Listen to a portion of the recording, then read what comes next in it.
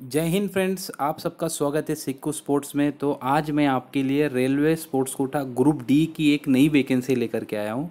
जैसा इसके पहले अभी तक आपने जो देखी, सारी ग्रुप सी की वैकेंसी थी। आज जो हम देखने वाला है, पहला नोटिफिकेशन निकला है ग्रुप डी के लिए, सात साल के बाद, जो कि इंट्रीगल कोच फैक्ट्री चेन्नई की तरफ़ से इन्होंने नोटिफिकेशन जारी किया गया है।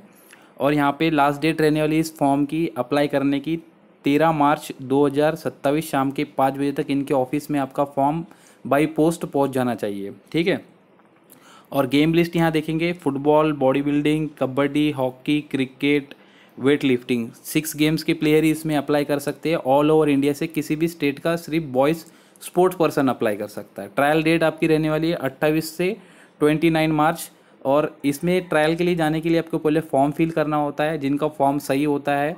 अचीवमेंट चेक करके आपको कॉल लेटर सेंड कर देते, तब जा करके आप ट्रायल दे सकते। हैं एलिजिबल कैंडिडेट का लिस्ट जो है आपका ट्वेंटी वन मार्च को लग जाएगा वेबसाइट पे। तो पूरा डिटेल में देखते हैं वैकेंसी पोजीशन क्या क्या है प्लेइंग पोजीशन क्या दी है। जैसा फुटबॉल में फॉरवर्ड चाहिए centre mid centre mid fielder चाहिए यहाँ पर में सेंटर बैक तीन वैकेंसी है फुटबॉल के लिए। बॉडी बिल्डिंग में दो वैकेंसी वेट कैटेगरी दी है सिक्सटी और एटी फाइव के जी ठीक है?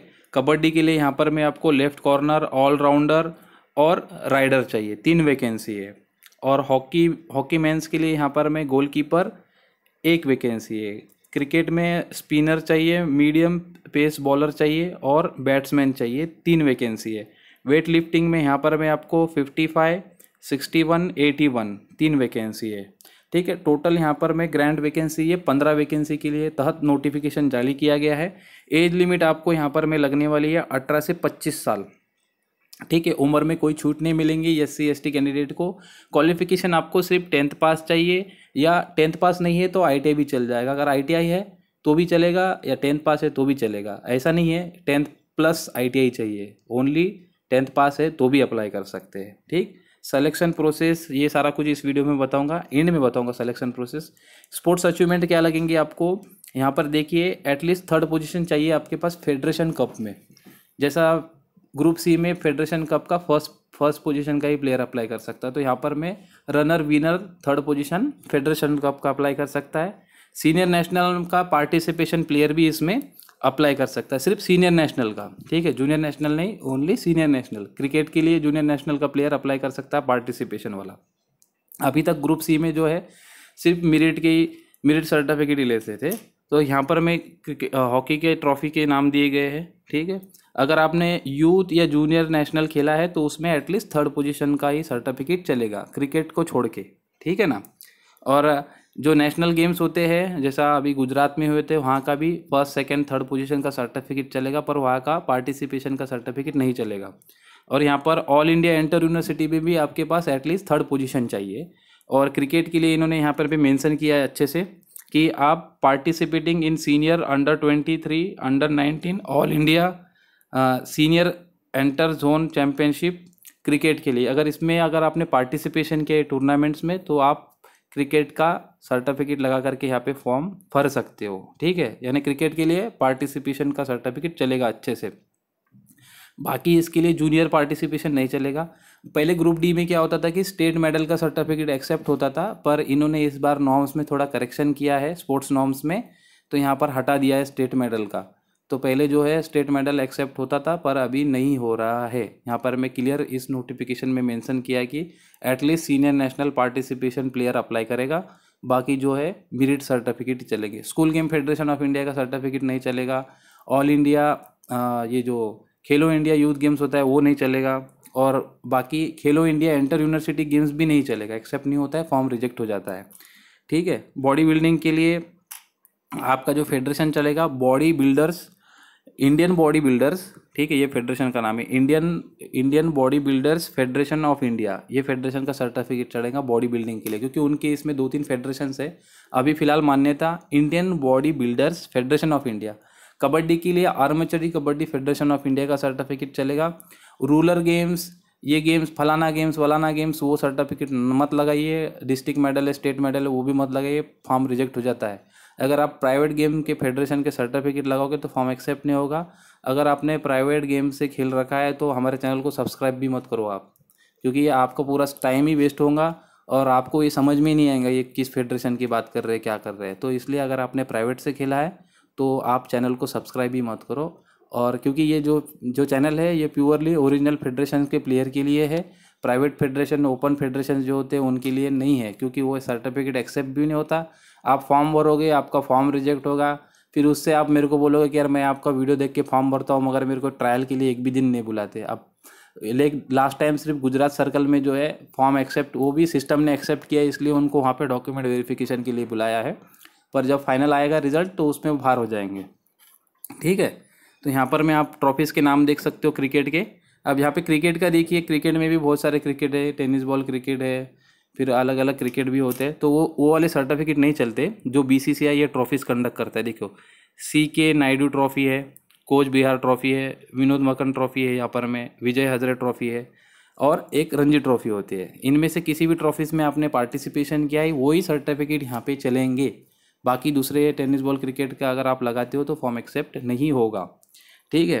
बॉडी बिल्डिंग के लिए भी दिया है। फुटबॉल के लिए देखिए बी सी रॉय का सर्टिफिकेट चलेगा, पर वो मेरिट सर्टिफिकेट चलेगा बी सी रॉय का। संतोष ट्रॉफी पार्टिसिपेशन लगाओ तो एक्सेप्ट हो जाएगा फॉर्म आपका। ठीक है? और ये अचीवमेंट कब से कब तक चलेंगी आपकी? एक चार दो हज़ार बीस से लेकर के बारह फरवरी दो हज़ार तेईस। इनके बीच में जो टूर्नामेंट्स हुए, इस ईयर के ही सर्टिफिकेट आपके एक्सेप्ट हो गए।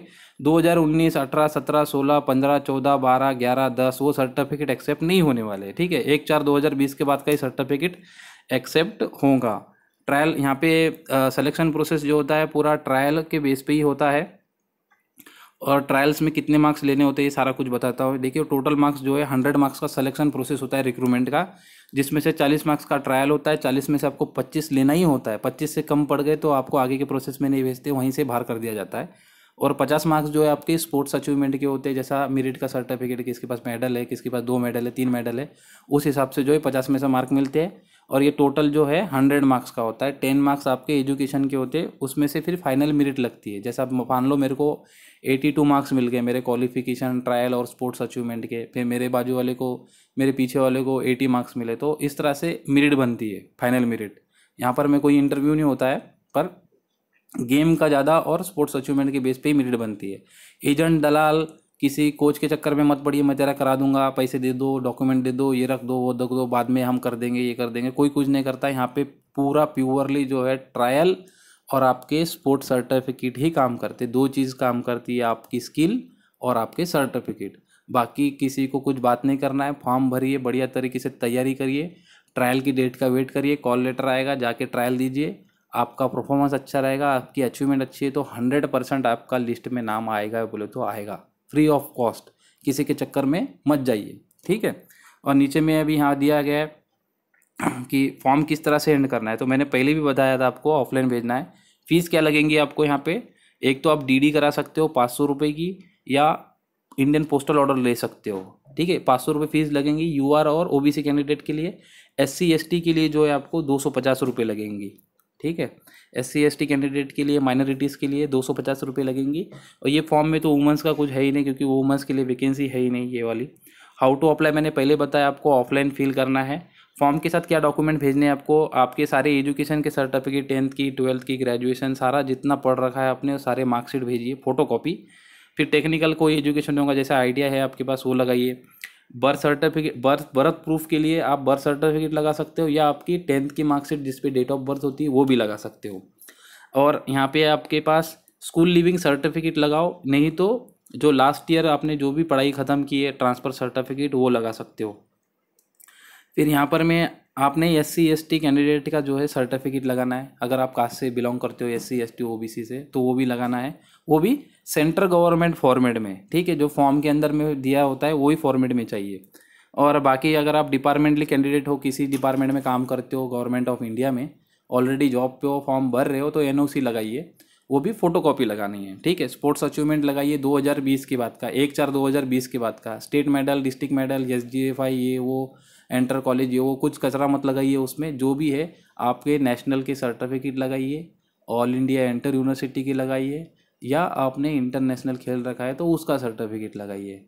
ठीक है? जो चलते हैं, वही लगाइए, बाकी डिस्ट्रिक्ट का medal state medal state participation S G F I participation वो यहाँ में नहीं चलते, आप मत लगाइए। ठीक है ना? बाकी फॉर्म किसके एड्रेस पे भेजना है? यहाँ पर मैं एड्रेस दिया है, इस एड्रेस पे आपको फॉर्म भेजना है। आपके एनवलप के ऊपर में ये लिए लिखा रहना ज़रूरी है, ठीक है? Application for the sports recruitment for post in pay level one open advertisement 2021 ये लिखा रहना चाहिए और ये पो ये पोस्ट जो है आपको बाय ऑर्डनरी पोस्ट ही सेंड करना है, ठीक है? देखो यहाँ लिखा है send by ordinary post only तो ऑर्डनरी पोस्ट से ही सेंड करना है, नहीं तो आपका फॉर्म जो है रिजेक्ट हो जाएगा, ठीक है? Private courier speed post, registered post मत करिए। आपका जो है सादा पोस्ट जो होता है, उसी से करना। ऑर्डनरी पोस्ट जा करके बोल देना उनको, दो ऑर्डनरी पोस्ट ठीक है? बाकी ये जनरल इंस्ट्रक्शंस दिए गए, इसको पढ़िए अच्छे से, या नंबर दिए गए, आपको कोई अगर इंक्वायरी है तो कॉल कॉल पे बात भी कर सकते हो आप। या कमेंट करिए, मैं कमेंट का भी आपको ज़रूर रिप्लाई दूँगा। इसका लिंक जो है फॉर्म का मैंने डिस्क्रिप्शन में है, जा करके आप डाउनलोड करिए। और वीडियो पसंद आया तो वीडियो को भी लाइक ज़रूर करिए, ठीक है? और टेलीग्राम ग्रुप का लिंक दिया है मैंने डिस्क्रिप्शन में। वो भी जा कर के ज्वाइन करिए, जिसमें आपको स्पोर्ट्स कोटा से रिक्रूटमेंट से रिलेटेड सारी जानकारी मिलेंगी। स्पोर्ट्स कोटा रिक्रूटमेंट ग्रुप का नाम है। इसमें ज्वाइन करिए, अपने दोस्तों को भी जुड़ाइए, ताकि नए नए जो स्पोर्ट्स कोटा से अपडेट आती है, सारी हम इस ग्रुप में सही समय पे देते। हैं बाकी भी वैकेंसीज आ रखी है, अगर आपका इसमें गेम नहीं है, जैसा इनकम टैक्स का आ रखा है, अभी बेंगलोर का है, और आर्मी ऑर्डिनेंस क्रॉप्स का है, उसमें भी फॉर्म देखिए आप, ठीक है? और बाकी अगर आपकी कोई भी क्वेरी है तो आप कमेंट कर सकते हो। Thank you for watching my video मिलूँगा आपको मैं इसी तरह एक नए वीडियो के साथ में।